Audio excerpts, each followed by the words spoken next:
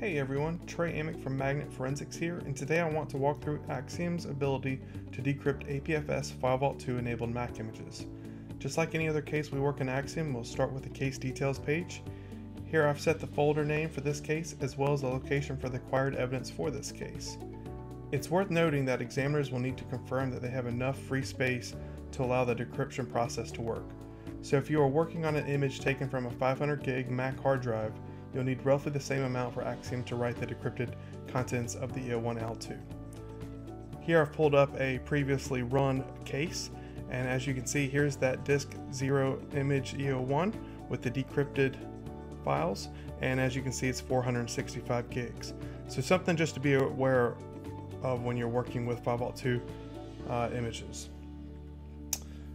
Now I'm going to go ahead, since I've already set up my case folders, I'm going to go ahead and head to evidence sources. I'm going to move to computer, Mac, image. I'm going to select my disk 0 image E01, which is from an APFS physical non-T2 Mac. I'm to hit open.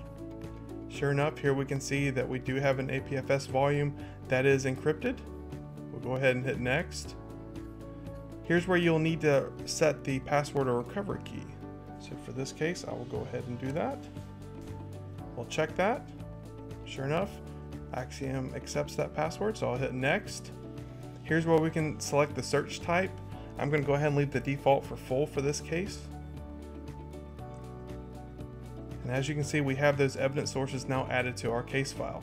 Now, since this is a Mac case, I'm going to head down to computer artifacts and onto operating system Mac OS and here you can see some of our latest artifacts for Mac including the trash, some of the volume information, daily logs, deleted accounts, network profiles, some of the startup items, uh, FS events, KnowledgeC database. There's a lot of good information that we're going to be able to pull up from this image. So I'm going to go ahead and hit go to analyze evidence and I'm going to go ahead and start this process. We'll give Axiom just a second. As you can see, it's decrypting that APFS volume. Once you've kicked off that decryption process, Axiom will complete it, and as it's completing it, it will then process the case for the rest of your artifacts. That's all I have. Thanks. Have a great day.